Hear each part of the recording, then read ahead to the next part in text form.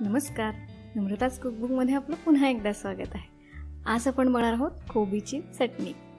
तर कोबीची भाजी कोबीचे पकोडे किंवा वडी हे बरेच प्रकार आपण बघितलेले आहेत. आज आपण कोबीची चटणी करणार आहोत. चला तर मग त्यासाठी काय काय साहित्य लागतं ते बघूयात. कोबी काळा मसाला लाल तिखट हिंग फोडणीसाठी जिरे मोहरी मीठ हळद तेल लसूण आलं चिंच धणे उडीद डाळ सुकी लाल मिरची आणि कढीपत्ता. सगळ्यात आधी आपण पॅनमध्ये तेल घेऊयात. अगदी दोन ते तीन चमचेच तेल इथे घ्यायचं आहे आणि सुरुवातीला जी उडीद डाळ आणि धणे घेतले होते ते या तेलामध्ये परतून घेऊयात. उडीद डाळ छान परतली की आपण त्यामध्ये धणे घालूयात. उडदाच्या डाळीने एक मस्त असं फ्लेवर येतो चटणीला. तर नक्की न विसरता उडदाची डाळ घाला. थोडीशी लाल मिरची. लाल मिरची नसेल तर स्किप केली तरी देखील चालेल.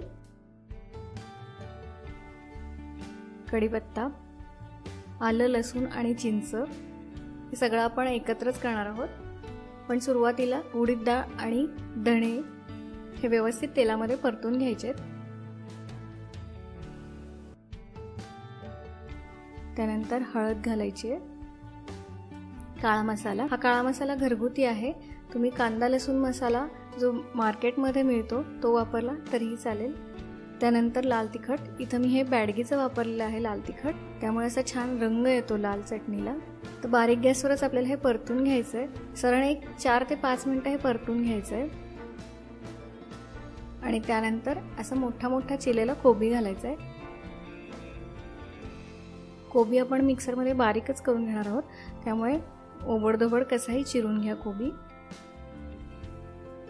त्यानंतर चवीनुसार मीठ. ही चटणी आपण जेवताना चवीसाठी देखील घेऊ शकतो. आणि आता हे सर्व एकत्र करून कोबी छान असा शिजवून घ्यायचा आहे. अगदी बारीक गॅसवरच एक दहा मिनटं कोबी शिजवून घ्यायचं आहे आणि मध्ये मध्ये आपण ह्याला हलवत राहणार आहोत जेणेकरून कोबी खालून करपून जाऊ नये. कोबीची चटणी आपण तीन ते चार दिवस फ्रीजमध्ये ठेवून खाऊ शकतो. तो कोबी छान शिजलेला आहे. आपण हा थंड करून मिक्सरमध्ये असं बारीक करून घेऊयात. पूर्ण बारीक करून घेतलेला आहे कोबी मी. तुम्हाला ओबडधोबड चटणी हवी असेल तर तुम्ही थोडंसं कमी जास्त बारीक करून घ्या.